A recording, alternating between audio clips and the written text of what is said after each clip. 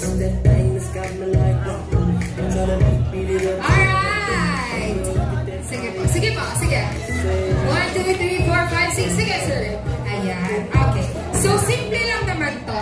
Um, right, uh, mga napapahat naman ako. Pwede bang sipitan mo sila, sir, sa iba't ibang bahan?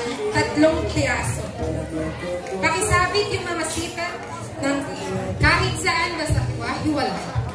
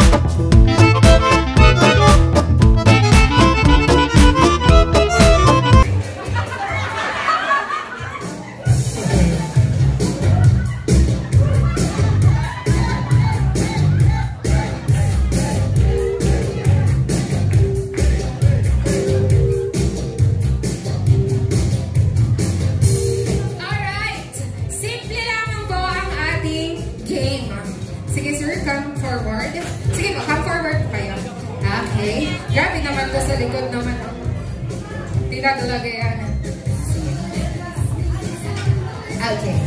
Simple lamang po ang ating games. Paunahan lang silang makalas yan sa kanilang mga katawan. Ganun lang. Hindi niya alam yun nasa likod. Ang dali lang eh. Ang dali lang naman, di ba? Tatanggalin lang nila to. Yung mga ipet. But, the twist is, bawal niyo po yung hawakan. Hala, ah, shake, You shake. have to remove it by just shaking Shake, your shake hand. lang. Okay? So, okay, nakaipit masyado yun sa kanya.